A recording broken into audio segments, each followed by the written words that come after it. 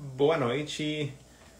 Nessa live eu vou fazer um pão muito conhecido, acho que é o pão mais famoso do mundo, é o famoso baguete. Boa noite, Maís, tudo bem? Eu já fiz um baguete um tempinho atrás, esse agora é na, no livro que faço as receitas é declarado como baguete francês. Não é tão diferente do que o baguete que já fiz. A principal diferença é que a massa principal vai para uma fermentação bem longa, isso é dois dias. E hoje nessa live eu vou preparar a pré-massa primeira, que também já vai fermentar uns 12 horas. E vou explicar um pouco a função dessa pré-massa que vou preparar. E provavelmente daí nos, quando a massa está pronta e tudo mais, daí vou fazer outra live para mostrar a modelagem do baguete, que não é muito fácil. Eu também não sou assim o grande mestre de baguetes, uh, mas fiz vários já agora e é um pão muito bom, muito gostoso, né? Por isso também é tão famoso e muito atraente, assim, crocante por fora, macio por dentro. E quando tem esse, essa fermentação longa, também é muito cheio de aroma. Ah, boa noite, boa noite.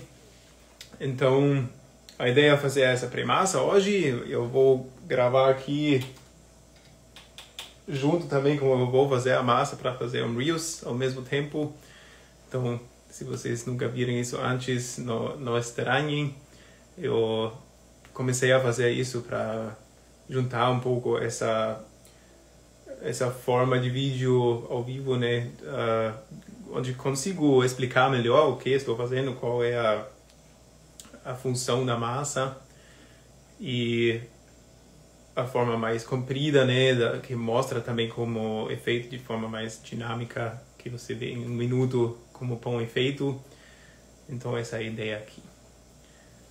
E ainda vou falar, eu dei uma pesquisa, opa, eu dei uma pesquisa hoje uh, sobre as origens do baguete e pelo visto não é bem claro como como foi desenvolvido. Tem, eu vi uma parte que que diz que até foi o austríaco que se mudou para o para Paris e que ele lá desenvolveu esse tipo de pão. Não sei se é, foi assim. E tem uma outra que diz que para levar para a guerra os soldados franceses fizeram um pão comprido para colocar na uh, na calça porque é mais fácil do que colocar um pão redondo para levantar para levar junto, né? Então, isso que vi de história, mas pelo visto não, não é bem conhecido de onde vem mesmo. Dito isso, vamos para a mesa. Eu só vou mudar a câmera aqui um pouco para vocês verem melhor a mesa. Onde eu irei preparar a massa. Enfiar aqui. Estou animado também porque logo a gente vai se mudar e daí eu não preciso mais filmar aqui de lado e ficar aqui num cantinho, vai ter um lugar bem legal. Eu já estou realmente muito animado para esse momento chegar. Um pouco de paciência precisa ainda, mas é normal, né? Então, a luz também, vamos colocar um pouco mais perto. A pré-massa que eu vou fazer é uma massa bem simples e se você costuma fazer pão usando só uma massa, tipo colocando todos os ingredientes junto e preparar, tudo bem, dá para fazer, mas fazendo uma pré-massa que nem essa é muito fácil e coloca muito mais aroma no seu pão, porque você deixa mais tempo fermentar. Então, fica a dica experimente tente uma vez, uh, vale a pena mesmo. É rapidinho, se, se você quer fazer um pão amanhã, daí no dia antes, como eu faço agora, né, à noite, prepara uma massinha, é rapidamente feito e amanhã você só coloca isso junto na massa que você costume usar e vai ficar um pão melhor, com certeza. Eu vou esqueci água, vou pegar uma água rapidinho.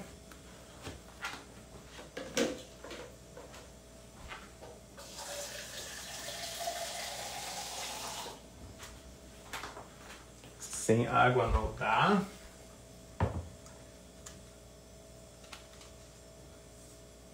E essa massa tem, além dos aroma, do aroma que ela proporciona. Nossa, sujou bonito aqui. Ela tem mais vantagens, isto é, ela já ajuda na formação do glúten, porque quando a gente coloca farinha e água junto e só deixa parado, não precisa nem sovar, o glúten já começa a se formar. E o glúten forma tipo uma rede, né, que segura os, os gases da fermentação e também deixa mais textura na massa. E como a gente deixa isso já, acontecer, colocando essa primassa na massa principal, a gente já tem uma rede de glúten formada e daí precisa sovar menos também. Agora vamos colocar água aqui. Mar. Eu vou usar 135 gramas de água, água da torneira, temperatura de ambiente.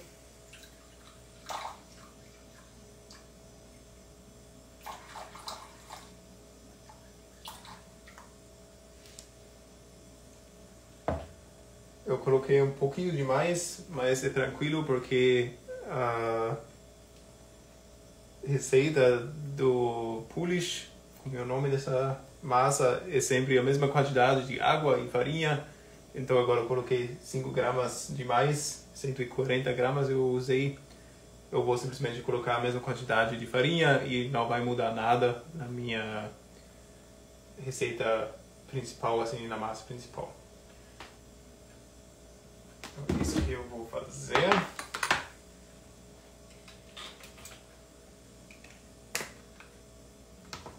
Como estou filmando aqui ao mesmo tempo.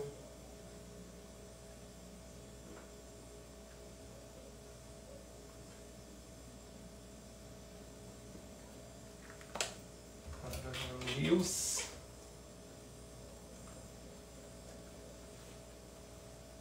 Ainda falta. 140 gramas de farinha.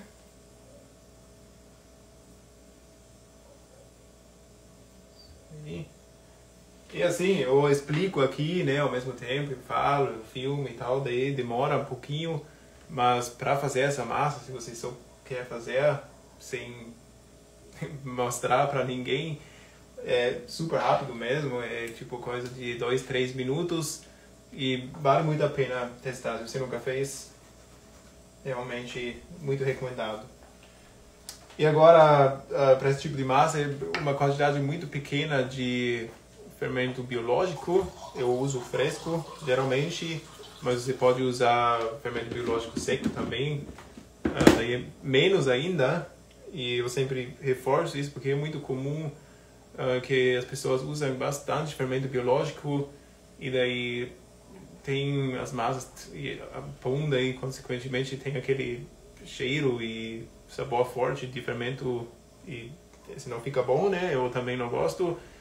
Mas se você usa quantidades pequenas de fermento biológico, você consegue fazer pães muito bons. Inclusive o baguete o típico uh, é feito com fermento biológico também. E assim, dá uma outra textura até a massa, assim, em comparação com o fermento natural. O fermento natural deixa massas de trigo um pouco mais borrachudo, assim, não necessariamente de forma negativa, né? Tipo, é uma outra consistência, assim, quando a gente morde, dá para sentir uma diferença entre os dois fermentos quando foi usado um fermento biológico, geralmente um pouco mais crocante, um pouco mais leve, assim, arado. Então, é isso que a gente busca no baguete, né? Quando a gente quer fazer um sourdough, não é isso que a gente quer. Então, muitas vezes vem assim, né? Um tablet. Isso são. Acho que. Vou até medir para não falar errado. Quantos são? Esses 6 gramas. Então, isso seria muita coisa. Eu preciso somente 0,1 grama. Uh, e isso é tipo, até nem minha, minha balança de precisão pega isso. Uh, porque ela mede teoricamente 0,1, mas geralmente não, não pega no primeiro. Por isso eu faço simplesmente assim, eu pego tipo, um pouquinho assim, bem pouco mesmo. Tipo uma bolinha assim, desse tamanho, 0,5 milímetros é, centímetros, desculpa, 5 milímetros mais ou menos, assim, uma, bol uma bolinha, assim, bem pouco. E essa vai junto, essa é suficiente, vai cumprir o papel e não vai deixar nenhum sabor de fermento, ela só vai fermentar a massa, vai uh, ajudar, tipo, vai ativar também umas uh, umas atividades enzimáticas e é isso que a gente quer aqui. E nós temos tempo, por isso não precisa muito fermento. Inclusive, se você coloca muito fermento e deixa fermentar por 12 horas, vai fermentar demais, provavelmente, e daí a massa perde essa capacidade de guardar o, o ar, o gás, né? E isso queremos evitar. Agora é só misturar isso aqui. Eu que não filmei, né? Como eu joguei. Agora já foi tarde. Isso aqui. Então essa etapa vou pular, mas misturar pelo menos vou filmar aqui.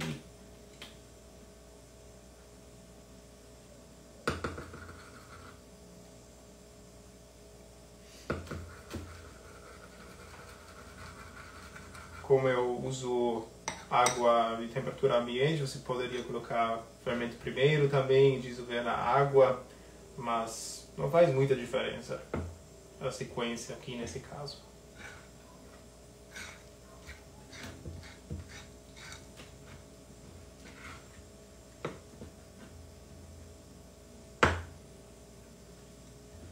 Vamos misturar, misturar.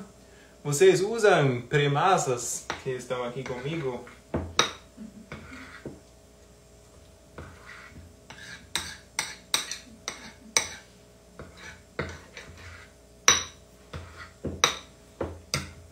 testaram esse tipo de massa que estou preparando aqui. Polish, água e farinha, mesma quantidade e bem pouco de fermento biológico.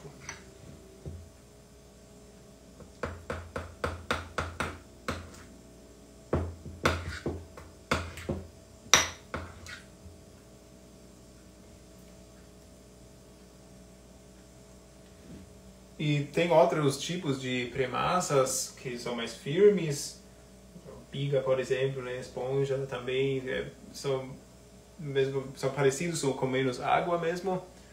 Uh, eu gosto bastante do Polish justamente por essa facilidade de misturar ele, porque é uma massa assim, ela não é super firme, fácil de misturar, rapidamente feita, e por isso eu curto bastante. Mas assim, as outras massas também tem, tem o seu lugar, né? Cada uma tipo traz um aroma diferente, umas umas uh, como que é umas propriedades, características diferentes, então vale a pena né, testar e ver o que você gosta mais.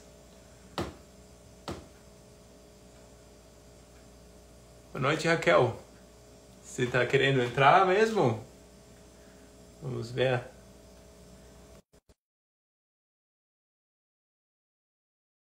Sempre é bem-vindo.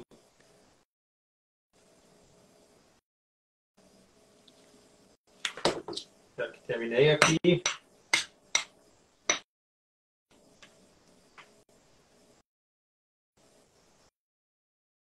Sei, vamos ver. Deu certo? Olá, boa noite.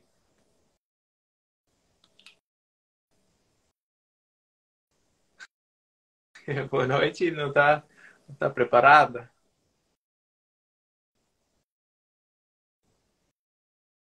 É, parece que não, não foi de propósito, então. Vou tirar aqui.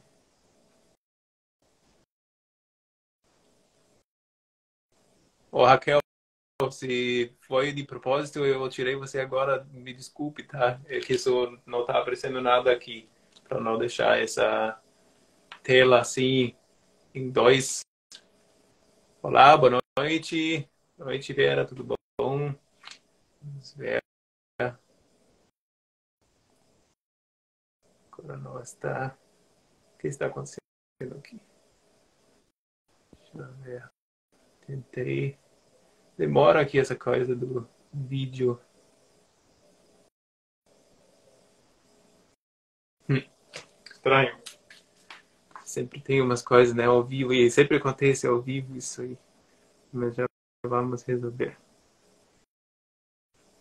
Tentando remover aqui.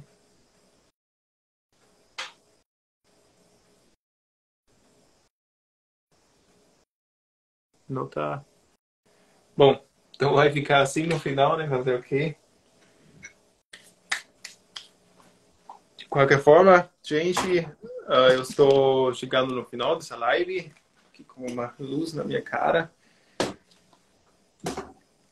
Eu quero dizer para vocês, se vocês gostam das dicas, das informações que eu compartilho aqui, uh, deixa um like e me sigam também. Eu tenho um canal no YouTube onde onde tem, eu acho um pouco mais fácil para ver as, as agora saiu.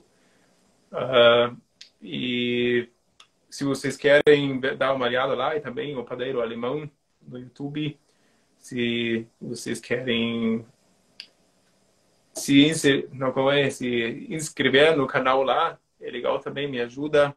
E espero que vocês aprenderam alguma coisa aqui comigo. Se vocês tiverem alguma pergunta, podem colocar, tanto aqui sempre quando estou ao vivo, geralmente faço duas lives por semana.